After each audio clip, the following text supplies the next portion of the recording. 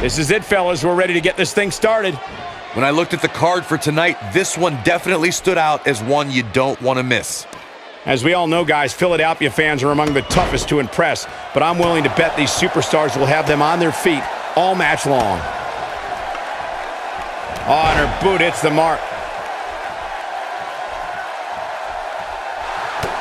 She might have it. I'll be shocked if that's not it. Big opportunity here. How about we touch on Cho a bit? How about it? How is she going to win this tough matchup? In about a minute, she... Here she goes, guys. She's got a chance to win it here. That changes everything. Hoping to end it here.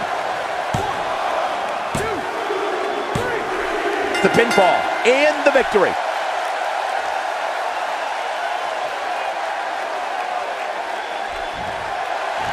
Here is your winner, Ivy Cho.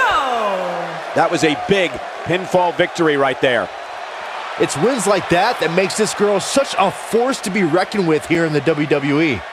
Thank you for tuning in tonight, folks. We hope you enjoyed that great match.